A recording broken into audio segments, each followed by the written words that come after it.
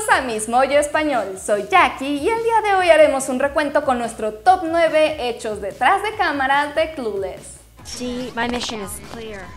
Would you look at that girl? She is so adorably clueless. We've got to adopt her. Cher, she is toe up. I've got an idea. Let's do a makeover. And in conclusion, may I please remind you that it does not say RSVP on the Statue of Liberty. En esta lista le echaremos un vistazo a los hechos sobre la película que seguramente no sabían. Y recuerden que ya tenemos fanpage en Facebook, así que denle like y disfruten de más contenido original en nuestra página. Número 9. La cantidad de vestuario. No es ningún secreto que uno de los elementos esenciales en esta película icónica son los increíbles atuendos que utilizan las estrellas. La enorme cantidad de ropa con diversos patrones fue un deleite visual para todos los fashionistas de la época. What the hell is that? A dress. Says who? Calvin Klein. No hubo ningún adolescente que no soñara con tener el armario de Cher, excepto tal vez Alicia Silverstone, pues la actriz declaró tener más de 60 atuendos, y aunque suene envidiable para casi todos, a ella le molestaban. En un principio no entendía por qué la ropa era tan importante para Cher, pero admitió que quería llevárselos todos al final de la grabación. The clothes are everything. The clothes are the star of the film, or at least the co-star. Número 8. Inspirada por Jane Austen. Emma de Jane Austen fue una vaga inspiración para la escritora y directora Amy Heckerling, cuando estaba en proceso de crear el mundo y los personajes de Clueless. La novela cuenta la historia de Emma Woodhouse, quien al igual que Cher es una chica segura de sí misma con una vida privilegiada que le impide ver la realidad. Excuse me, but I have donated many Fine. expensive Italian outfits to Lucy. Funds. And as soon as I get my license, I fully intend to break for animals. And I have contributed many hours to helping two lonely teachers find romance. Which I'll bet serves your interest more than theirs. Así, el personaje se involucra generalmente en los asuntos de los demás. ¿Les suena familiar? Dee, my mission is clear. Would you look at that girl? She is so adorably clueless. We've got to adopt her. Cher, she is toe up.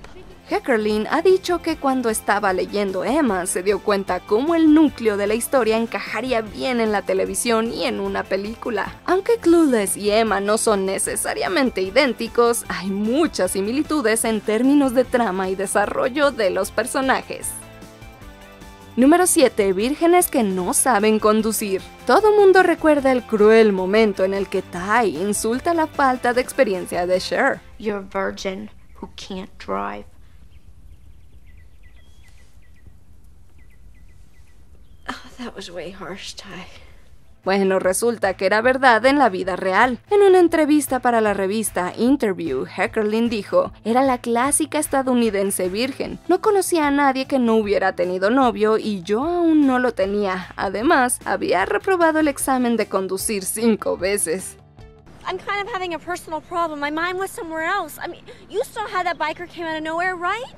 Irónicamente, Brittany Murphy confesó que era igual de inexperta cuando dijo su diálogo, y esa no es la única parte de su vida que Heckerling incorporó. La escena en la que todos se vuelven locos cuando Diane accidentalmente entra a la autopista está inspirada en lo mucho que ella se asustaba en la vida real. En lugar de permitir que sus inseguridades tomaran el control, las convirtió en motivo de risa. Boy, getting off the freeway makes you realize how important love is. After that, Dion's virginity went from technical to non existent. Número 6. El baile de Rolling with My Homies. Es prácticamente imposible escuchar Rolling with My Homies de Coolio sin pensar en la escena de esta película en la que Elton le enseña a bailar a Ty mientras cantan la canción. Can you do this? Rolling with the homies.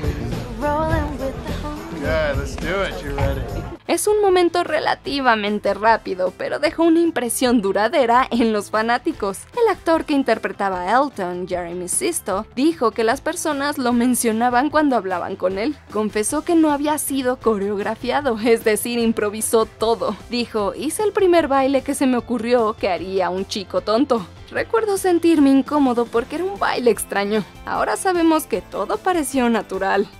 I knew it. Oh, you know what? Totally sprung on me. Número 5. La gorra de Josh. Todo mundo conoce a Paul Rudd como el chico eternamente joven y encantador, quien interpretó a Josh en Clueless, pero lo que algunos fanáticos no saben es que fue a la Universidad de Kansas y mantiene su alma mater junto al corazón. De hecho, vemos a su personaje usar una gorra con las siglas de KU, que de hecho le pertenecen al actor y decidieron incorporarla porque él lo pidió. You look like Pippi Longstocking. You look like Forrest Gump. Naturalmente se la dejó al departamento de vestuario para que la guardaran, aunque no tiene idea de qué sucedió con ella. Oh, okay, so everything is all my fault. I'm always wrong, right? Such a brat. Tristemente, Rod no volvió a verla desde que la película terminó, aunque hizo sentir orgullosa a su universidad. Número 4. La creación de Clueless. Crear Clueless no fue tarea fácil. La idea original de Amy Heckerling estaba diseñada para un programa de Fox TV llamado No Worries, pero después decidió que sería una película y 20th Century Fox la compró, aunque fue complicado. La creadora dijo que los ejecutivos quisieron hacerle muchos cambios. Let's do a makeover. No. No. Oh, come on, let us. Por ejemplo, no creían que funcionara una película que tratara sobre un adolescente y no querían que Cher y Josh fueran exparientes. Fue un periodo lleno de rechazos. I felt impotent and out of control, which I really hate. I needed to find sanctuary in a place where I could gather my thoughts and regain my strength. Finalmente, Scott Rudin se quedó como el productor. La película la tomó Paramount y Amy logró contar la historia a su manera. I am just not interested in doing it until I find the right person.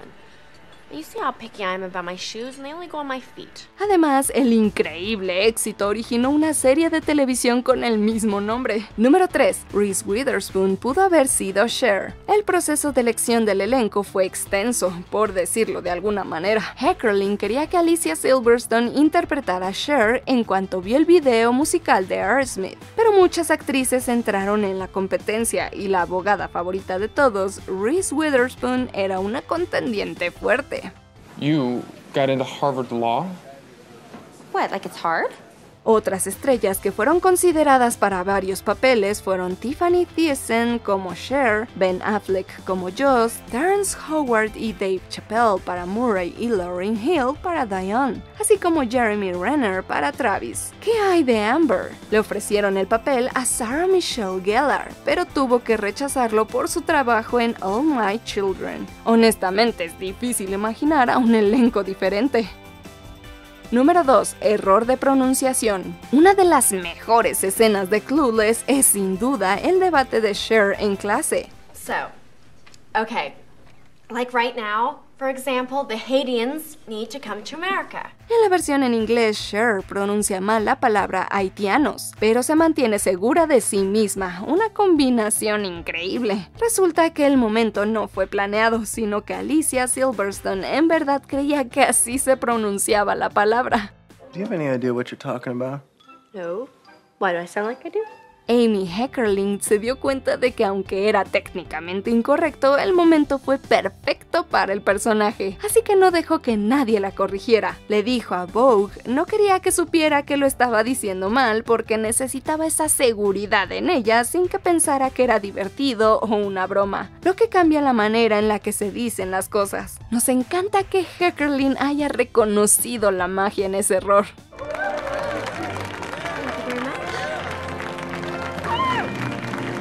Antes de continuar, asegúrense de suscribirse a nuestro canal y darle clic a la campanita para recibir notificaciones de nuestros últimos videos, ya sea de algunos o de todos. Si están en su teléfono, entren a configuraciones y activen las notificaciones. Número 1. El atuendo amarillo a rayas. ¿Quién podría olvidar el atuendo amarillo a rayas que Cher utiliza en la película?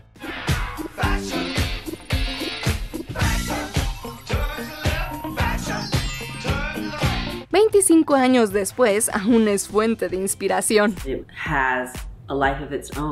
You see it every year on the runway, and I think it's so interesting that people are so interested in it and it continues to live. Así que tal vez los fanáticos se sorprendan al escuchar que el conjunto de Dolce Gabbana casi es de otro color. En una entrevista con Vogue, Alicia Silverstone explicó que también había una versión azul y una roja para el atuendo. Pero ¿por qué eligieron el amarillo? La diseñadora Mona May explicó más en una entrevista. Dijo, probamos el atuendo azul que va muy bien con el cabello rubio y probamos el rojo que era un tanto exagerado. Cuando utilizó el amarillo grité sí, era como un rayo de sol, como si fuera una reina. El resto, como todos dicen, es historia. Chequen estos otros increíbles videos de Miss Moyo Español. Suscríbanse y denle click a la campanita para que reciban una notificación cada vez que subamos nuevo contenido.